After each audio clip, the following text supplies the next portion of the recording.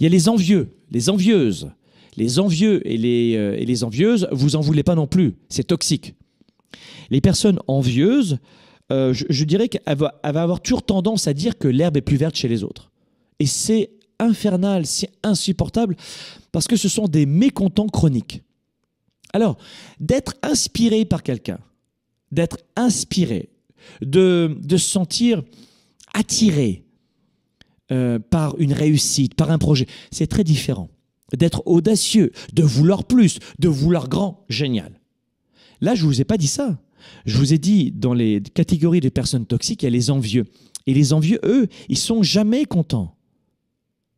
C'est-à-dire qu'une personne qui voit grand peut se dire, je, suis au camp de base de la, de la montagne que je veux gravir, j'ai le sommet qui est très loin, mais yes, j'ai réussi mon camp de base.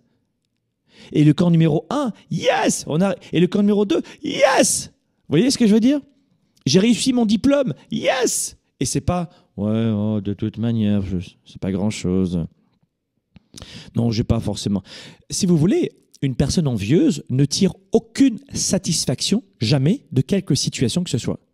C'est ça une personne envieuse. Elle ne tire que rarement une satisfaction d'une situation.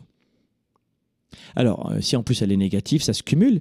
Mais je peux vous dire une chose, c'est que souvent, il y a toujours des, des envieux dans notre environnement et qui ont le sentiment de ne jamais avoir assez.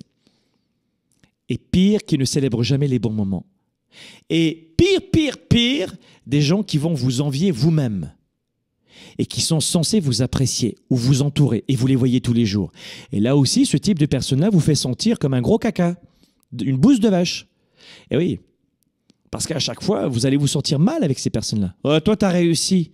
Vous pourriez vous sentir bien, mais si vous avez un grand cœur, quand on va vous dire ça tous les jours, ça va porter atteinte à votre santé mentale. Parce que vous allez culpabiliser. Et c'est ce qu'elle veut. Donc, vous ne voulez pas avoir autour de vous trop d'envieux, ou en tout cas pas avec cette dose de chronique, de, de toxicité, à absolument jamais être satisfait d'elle ou de lui, euh, et surtout à vous pointer le doigt en disant Ah Toi, c'est plus facile pour toi Bien sûr, c'est plus facile pour moi.